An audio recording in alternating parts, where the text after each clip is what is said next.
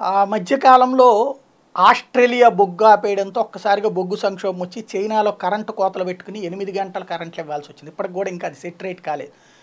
అయితే ఇండోనేషియా నుండి అది దిగుమతి చేసుకుంటుంది. ఇప్పుడు ఇండోనేషియా బొగ్గు మీద బ్యాన్ పెట్టుకుంది. ఇండోనేషియా మా దేశ అవసరాలకి చాలట్లేదు. ముందు మా కరెంట్ అవసరాలకు కావాలి కాబట్టి మేము తీసుకున్న తర్వాతనే మిగతా దేశాలకు ఇస్తూ ఉంటుంది. ఇప్పుడు దాదాపుగా హయ్యెస్ట్ సప్లైస్ చేసేటువంటి ఆస్ట్రేలియాతో పాటు ఇండోనేషియా కూడా బొగ్గు ఆపుతూ ఉన్నటువంటి నేపథ్యంలో ఆస్ట్రేలియాతోనేమో చైనాకి గొడవల కారణంగా ఆగింది. ఓరి ఇండోనేషియానేమో తన అవసరాల కోసం ఆపింది. దీంతో రాబోయేటువంటి రోజుల్లో ప్రపంచవ్యాప్తంగా మరొక కొత్త పవర్ క్రైసిస్ రాబోతోంది.